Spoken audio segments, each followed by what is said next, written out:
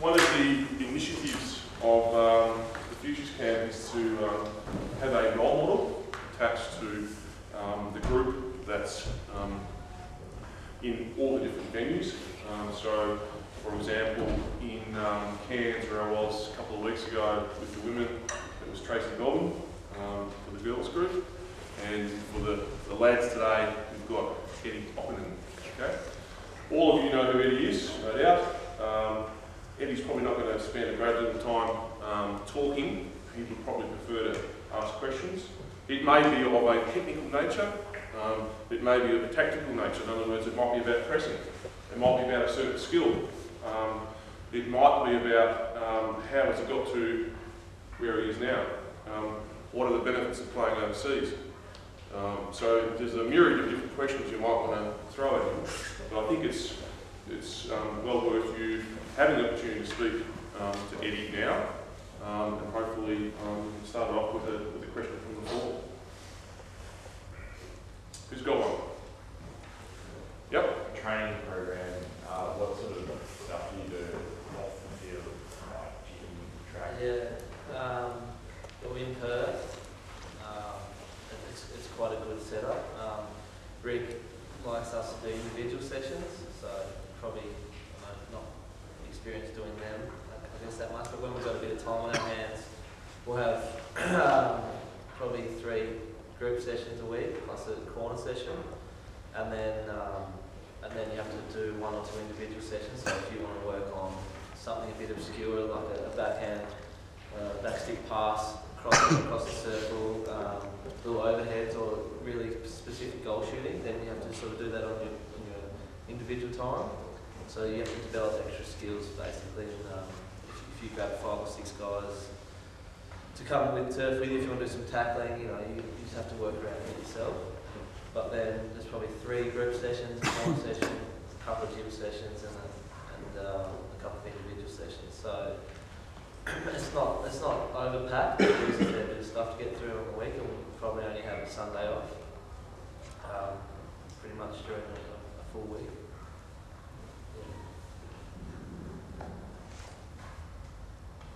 Remember, you're all challenged. Start thinking about one question you're going to ask. Maybe I'll just give a bit of a background on what, what's been happening the last, for me, five or six years since I was since I was your age. I don't know how old you all are individually, but I'm 24 now, and um, probably six years ago I was in the Junior World Cup, which I don't know if everyone's the right age, but I'm sure some of you are aspiring to the next one. Is that correct? So um, that was 2005 Junior World Cup for me. My first year of AHL was in 2005, and I was I was quite nervous playing that that year. Um, I- I hadn't been involved in many junior camps, or I hadn't done any. There wasn't any training like this what you guys are doing. So, first I think that's a good opportunity for you at the moment. And so I was quite a young fellow. I was I was picked in the Junior World Cup that year, and then um, during my second year of AHL was when I really started getting a lot of confidence. That was after the Junior World Cup. Um, so early 2006, then I really started to, to grow a bit and get my confidence, and that's when I was picked in the Australian team. Um, where I didn't play a lot, to be honest, in 2006. I probably only played uh, 8 to 10 games, so that was a pretty long year of pretty much just training in Perth, and I was taken, I was withheld a bit from a few few group sessions, and I was into the gym an extra session to most other guys because I was quite small and quite young, and that I think helped not not getting stronger, but just I think most of you will be in the gym, but getting my technique and everything sorted for when I really want to do the heavier weights.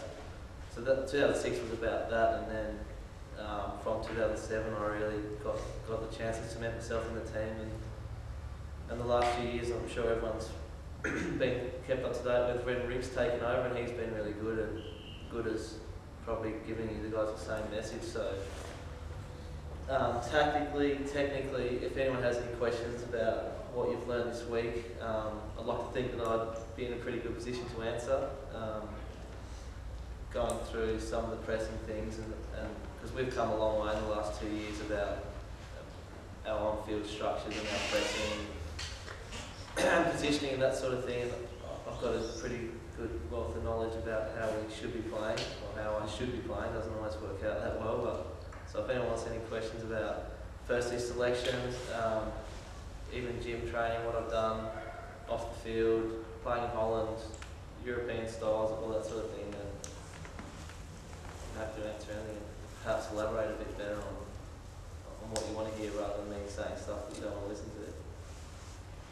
What do you do in, in Holland, well, when you're not playing hockey in?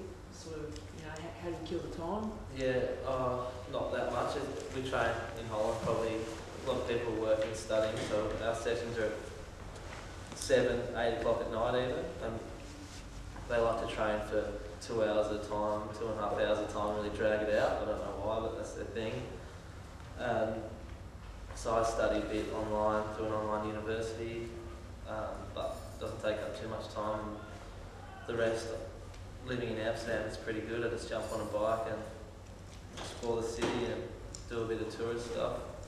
So I think that's been good for me because when you go on a trip, you don't see you don't see anything outside of your hotel, your hockey room. So So how much time is spent um, sort of back in the hotel looking at opposition teams and how much time is, is it is tactics versus sort of on, on the park with Rick? Yeah, Rick I think has gone away a bit from in the past. We did a lot, lot, a lot of looking at the other teams, and whilst we still do that a lot, it's more focused on looking at our individual games. So we would go to a tournament a week early, and we'll be given things like a task to.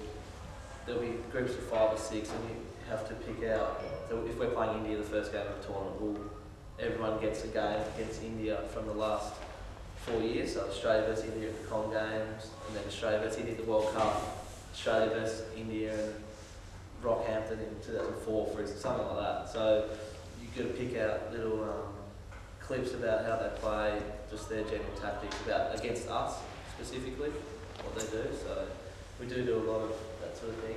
Um, So what sort of challenges have you got? Like you're obviously in the leadership group of the Kookaburras. Um, what's your role Kookaburras in particular with leadership? Oh, yeah, it's, it's not, I don't think it's really, really important to have that title as a leadership, but I think as long as you have a few people, um, I guess just providing a good, not a role model, but some, some good training ethic, and I think that's the most important thing because with the Kookaburras now, we're trying to get, well, I guess any good team tries to get a team full of leaders, so Rick really pushes that, that the leadership group's there, yes, that's going to do the training and allocating times and more that sort of thing. And, but if you have a team full of leaders, then everyone's pushing each other. So you don't have one captain um, dictating everything and just providing examples. You want to follow everyone, so it doesn't matter who you are. I think that's. But in terms for me, then we will have we'll have a couple of leadership meetings just about general things and maybe about a few issues or how to resolve things or just doing the planning, day to day schedule of are we too tired to train, what do you want to do with training. Uh, If you were to give, um, imagine back when you were this age group, um, what would you say to these guys now about you had to pick three things that um, they should really value? Um, what would it be? oh, I think I think just to listen as much as you can. Um, it, it's so it's easy to say that, but it doesn't. You know, I, I get I guarantee everyone everyone in the Australian team. If you said, was there a time when you probably didn't listen to someone when you maybe should have, or I bet everyone would say yes, and for me, yes as well. So that's really important. Um, just to take your opportunities. So everyone's in a good spot now. Um, just to keep pushing forward your, your case and keep training, playing well, and one more is had one more word. That'll do. Uh, what sort of focus do you have on like diet, nutrition and stuff during the year and also during the tournament?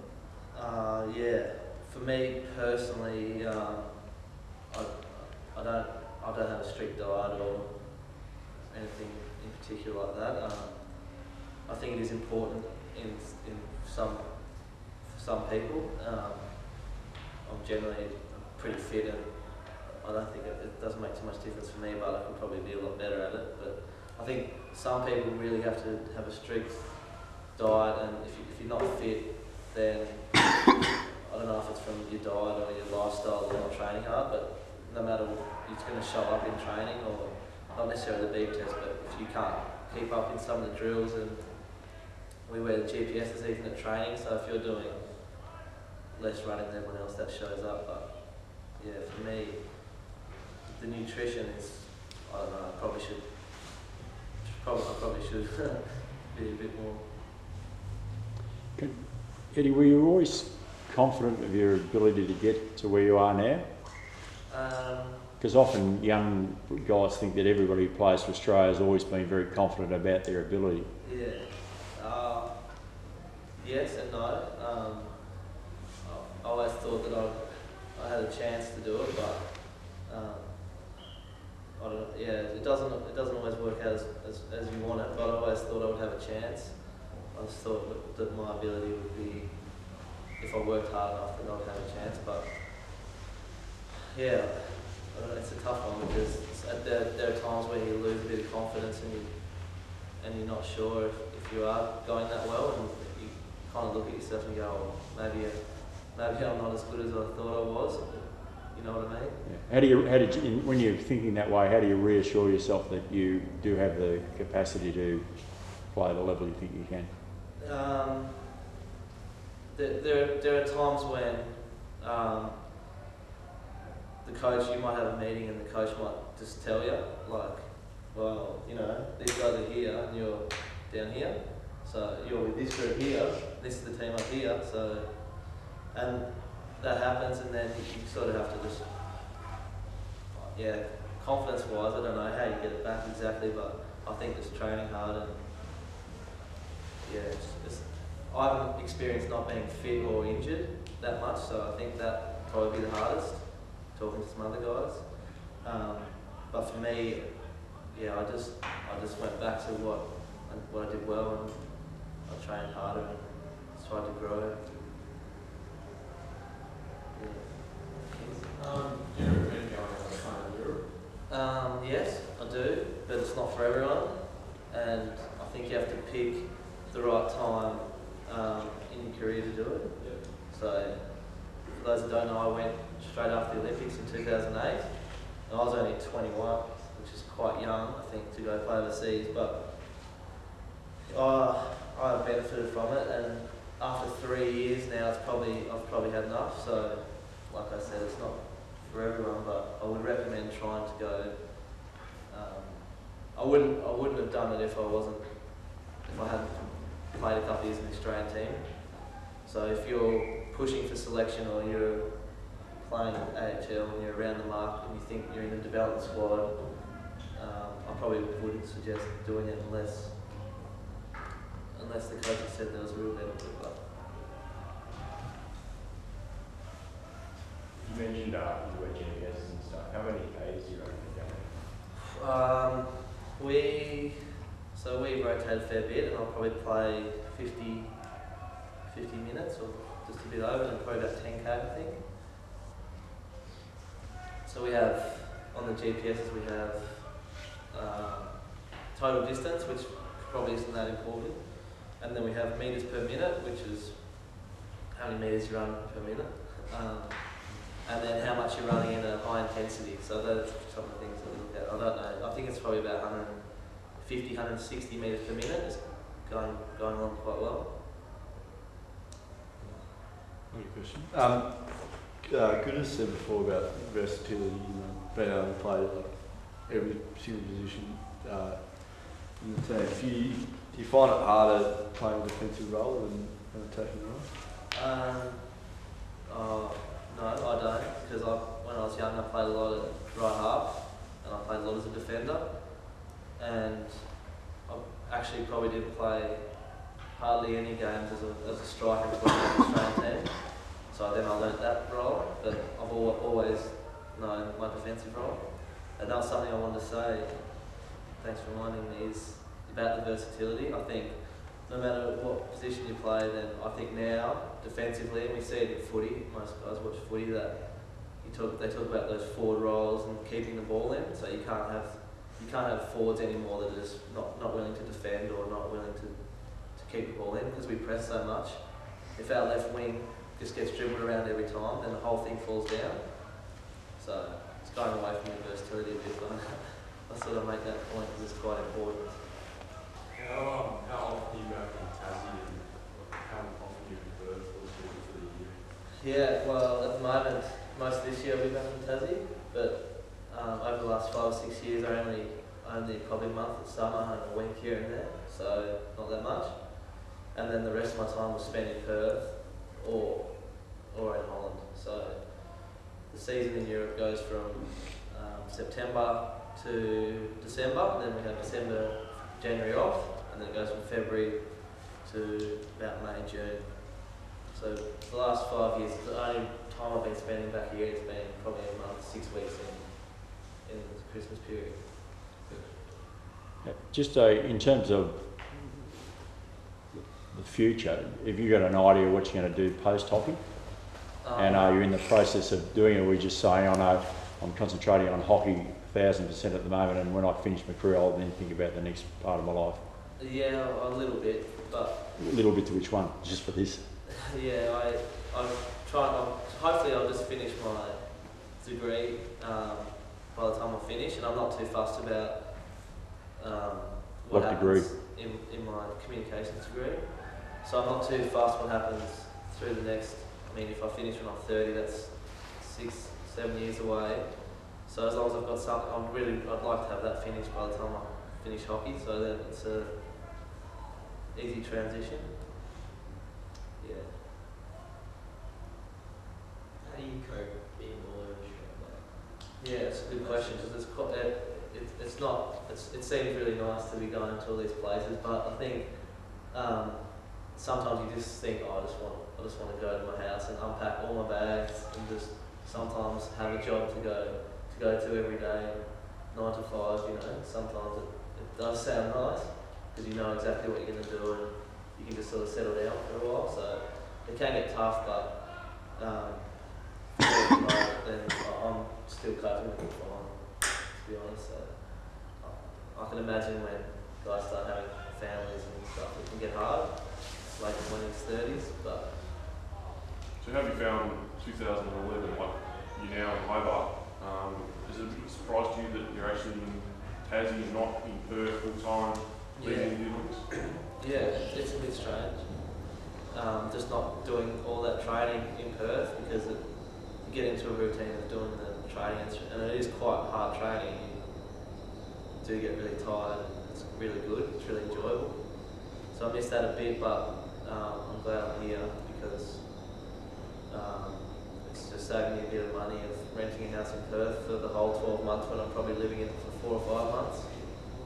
Um, and just have a bit of time away from it because next year's going to be very full on. So was the decision um, to sort of like let all the players go back to their states um, to try and keep people fresh? That Um, after the Com Games, which was October, we had just see in February.